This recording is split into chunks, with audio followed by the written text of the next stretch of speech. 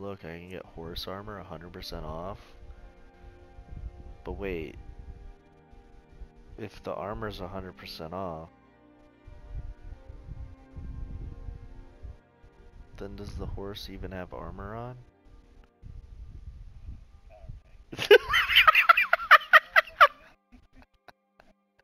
I know you loved that pause, bro. I know you loved that long fucking pause, though.